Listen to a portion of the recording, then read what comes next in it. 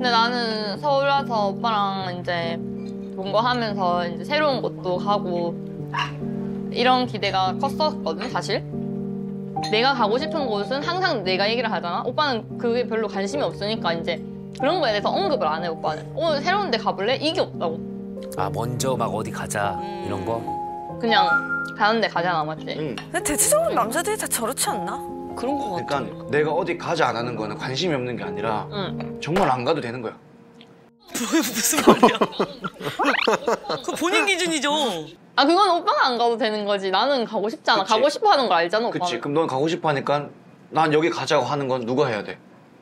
너가 하는 게 맞아. 아니지 상대방을 좋아하고 상대방을 존중하면 얘가 뭘 좋아하는지 아니까 얘에 대해서도 이렇게 얘기를 하고 관심을 가지고 이거 가볼래? 너 이거 좋아하잖아 나는 이렇게 맞아. 하잖아 오빠한테 오빠가 고기 좋아하니까 내가 그치. 오빠 고기 식단으로 내가 고기 위주로 찾지 식당을 그런 배려 그니까 맞아. 저건 맞는 말이야. 맞아. 그냥 저 말이 듣고 싶은 것 같아. 나는 큰 걸 바라는 게 아니야 오빠한테 좀 서운했던 부분이 오빠한테 이제 저는 이 기다리는 시간조차도 좋거든요. 저는 오빠랑 이 같이 기다리는 시간도. 근데 오빠는 기다리는 시간 자체가 아깝다라고 얘기를 해버리니까 저랑 생각이 너무 틀리더라고요. 그래가지고 나는 오빠가 먹는 거를 고기 위주로 좋아하니까 고기 위주로 찾아보고 이런 것도 생각을 하고 있는데 오빠는 제가 좋아하는 게 뭔지 비니가 어딜 가고 싶어 하는지 뭐 이런 것들을 생각을 못 해주는 것 같아서 좀 그런 부분이 사실 서운했어요.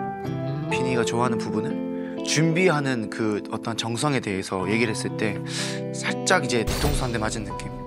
그냥 비니 보고 너 뭐 좋아해? 어디 갈까? 네가 원하는 데 가자. 그러면 오빠는 갈게. 이런 느낌으로 조금은 쉽게 쉽게 데이트를 하려고 했던 것 같아요. 그런 정성이 내가 없었구나. 그러니까 너가 말하는 게 너를 위한 배려가 내가 이제 일주일에 한 번은 조한빈이 가, 가고 싶어 할 만한 하프를 검색을 해서 그쪽 예약한 다음에 요- 이렇게 해라.